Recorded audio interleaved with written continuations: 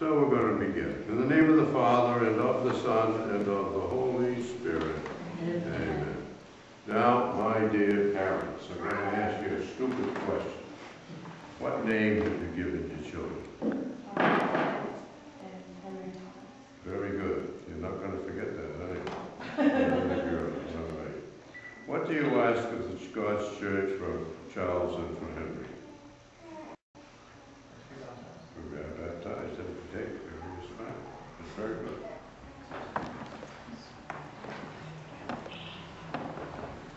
Now, I, I always like this little gospel that, that we write. You know, these, these kids are pretty important and pretty special, and I'm sure we, we've read the same gospel with May. Remember, this is the story from Mark, and it tells us that the people were bringing their little children to Jesus to have him touch them. But the disciples were scolding them for this. And Jesus became indignant when he noticed it. He said to them, Let the children come to me, do not hinder them. It is to just such as these that the kingdom of God belongs. I assure you that whoever does not accept the kingdom of God as a little child shall not enter into it. And then he embraced them and blessed them, placing his hands on them. Just a couple of things Jesus says in there. Don't hinder them. Don't do anything that would hinder them from coming to me. And then he says that no one in the kingdom of God who does not accept God as a little child, not like a little child. See, like a little child is childish, but as a little child, that is the pure, what these kids, uh, little Maeve, I mean, what she, what you mean to her, you can feel. right? Henry, we anoint you with the oil of salvation in the name of Christ, our Savior, may he strengthen you with his power who lives and reigns forever and ever. Charles, we anoint you with the oil of salvation. In the name of Christ, our Savior, may he strengthen you with his power who lives and reigns forever and ever. Amen. Lord, make this holy water, holy this water, which you created, so that all who, those whom you have chosen may be born again by the power of the Holy Spirit, and they take their place among your holy people. You have called your children, uh, Charles and Henry, to this cleansing water. Renew now the vows of your own baptism, reject sin, profess your faith in Christ Jesus. This is the faith of the church. This is the faith in which Charles and Henry are about to be baptized. My dear parents and godparents, do you reject sin so as to live in the freedom of God's children? Do you reject the glamour of evil and refuse to be mastered by sin? Do you reject Satan, of? Do you believe in God, the Father Almighty, the creator of heaven and earth? Do you believe in Jesus Christ, his only Son, our Lord, who was born of the Virgin Mary, was crucified, died, and buried, rose from the dead, and is now seated at the right hand of the Father? Do you believe in the Holy Spirit, the Holy Catholic Church, the communion of saints, the forgiveness of sins, the resurrection of the body, and life everlasting? This is our faith, this is the faith of the church we are proud to profess it in Christ Jesus our Lord. Mary, is it your will that Charles and Henry should be baptized in the faith of the church we have all professed? Now, this is, this is uh, Charles Kenneth, right? Yeah. Okay,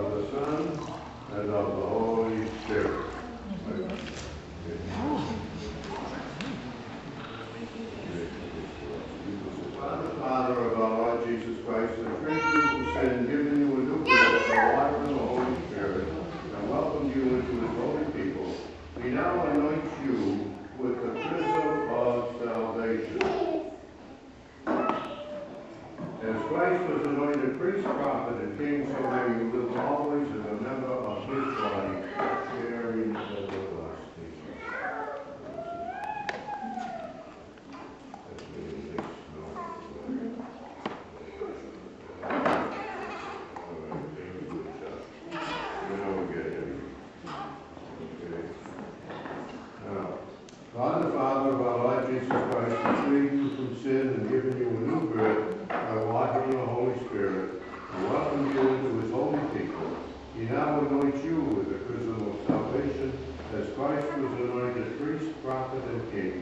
You always as a member of his body, sharing everlasting life.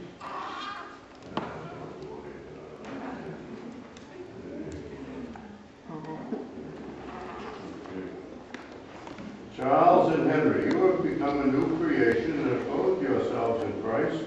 See in these white garments the outward sign of your Christian dignity, of your family and friends who help you by word and example. Bring that dignity unstained into the everlasting light of heaven. Amen.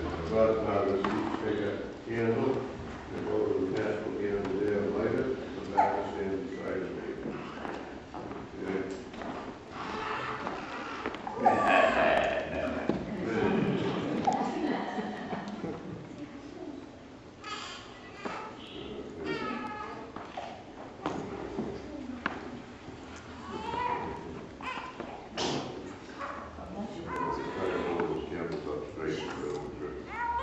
Okay, my dear parents and godparents, we say to Charles and Henry, receive the light of Christ. This light is entrusted to you to be kept good and bright. These children of yours have been enlightened by Christ. They are to walk always as children of the light. May they keep the flame of faith alive in their heart, and may, when the Lord comes, may they go out to meet him with all the saints in the heavenly The Lord made the deaf hear and the dumb speak. May he soon touch your ears. Uh, to receive his word and your mouth to proclaim,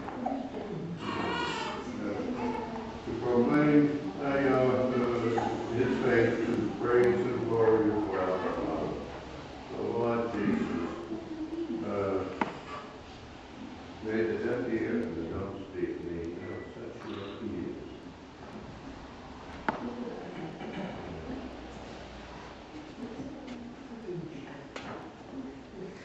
When the Lord he forth, when he touch your ears, receive his word, your mouth will proclaim his faith the praise and glory of God.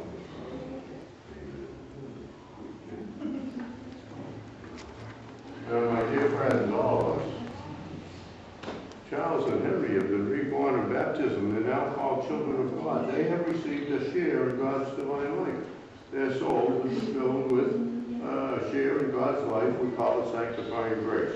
And that will be with them to the end of, for eternity, for eternity. So, they've been reborn in baptism. They are now called children of God, for so indeed they are. In confirmation, they will receive the fullness of God's Spirit. In Holy Communion, they will share the banquet of Christ's sacrifice, calling God their Father in the midst of the church. In their name, in the spirit of our common sonship, let us pray together in the words our Lord has given us. Our Father, who art in heaven, our will be thy name, thy kingdom come, thy will